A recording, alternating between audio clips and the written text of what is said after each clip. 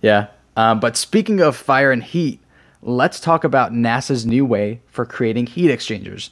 And you know what? You might be thinking, wow, heat exchangers, that's so boring, but they're actually a very critical aspect of most spacecraft.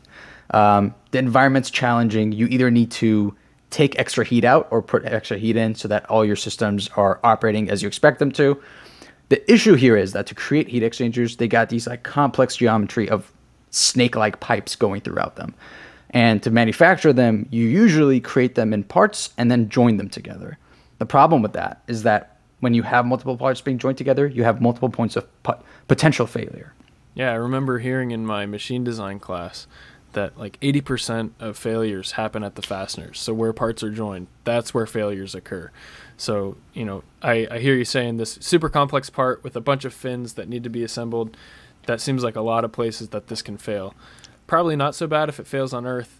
Yep. Definitely critical if it fails in space and you can't go fix this thing. So that's that's exactly what I was going to say. It's probably like it sucks if it fails on Earth, but it's really really bad if it fails in space and you have minimal tools to take care of it. So as we've talked before, like so many times on this podcast, additive manufacturing kind of fits the bill here, right? You have a complex part that you want to create and you want it to be like essentially a single part without any fasteners. So wonderful. The issue here is that for space applications, you, you typically want to have multiple metal types being joined together, like dissimilar metals. I think tantalum is the number one material used for radiation protection, but you also maybe want to incorporate aluminum because it's so lightweight. And with current additive manufacturing processes to do that, I believe it's challenging because you have to melt the material to be, again, at, at their melting point, which actually compromises their material properties.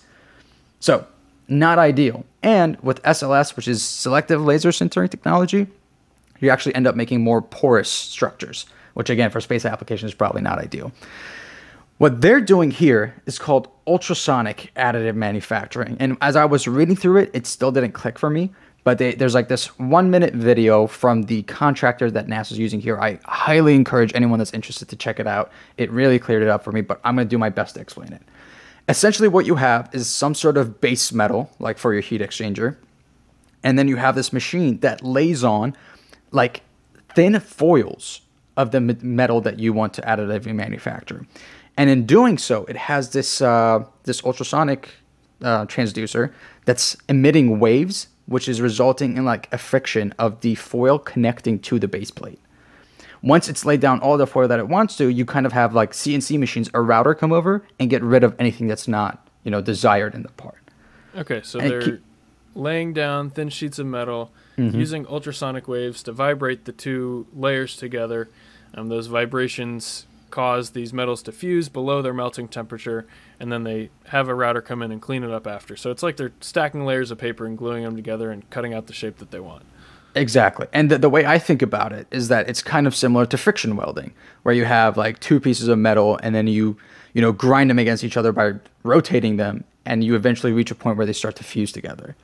Yeah, I, I've had some experience like with friction welding in my internships in the automotive space, but typically friction welding is used for like big chunks of metal that you can connect to heavy machinery and either rotate it or vibrate them back and forth.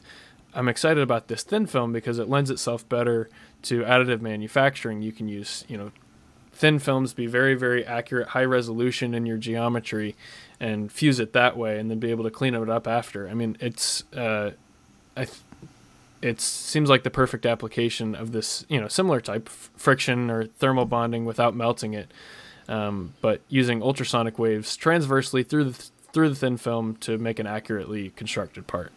Exactly. And what I'm most interested about is that this technology allows you to embed sensors into the parts that you're creating. So let's say um, in, in, a typical mechanical part, if you want to have any sort of sensor systems to monitor stress or strain in that specific area, you would have to put it on the outside of the part. So if you have any stress or uh, concentrated stress or strain regions on the inside of the part, there's really no way for you to monitor it. Now you can embed the system in there, make sure that it's fully protected because the system is again just laying down layer after layer and adhering them really well to one another. So structurally sound. And again, in a space application where safety is the most important thing, you can monitor these parts and their performance in real time. Yeah, that's that's really exciting. I think, you know, aerospace, NASA, this is the perfect application for it where they want things that are super high performance, you know, have to be the perfect geometry, super critical with weight economy and everything. Um, I'm excited for this with NASA. I'm also excited to hopefully see some of this kind of trickle down um, through this science flywheel that is, you know, the aerospace industry, and to see if there's any um, applications in consumer technology for making things, you know, better and more efficiently that we'll see every day in our lives. Well, I'm, I'm happy you pointed that out because the NASA engineer that was working on this project, that's actually what he said. He said, We don't create technologies for a spacecraft. We create technologies that can be trickled down and hit academia and industry and just really help and it, like the organization, the field of study as a whole. And by the way, I forgot to mention this. NASA is spearheading this effort to integrate parts used um, to integrate the parts created by ultrasonic additive manufacturing in their spacecraft. However, it is their subcontractor, Fabrisonic, that, that created this technology to begin with. So okay, shout so out to I these could guys. go buy a Fabrisonic printer if I wanted and do the Yes. same thing in my house.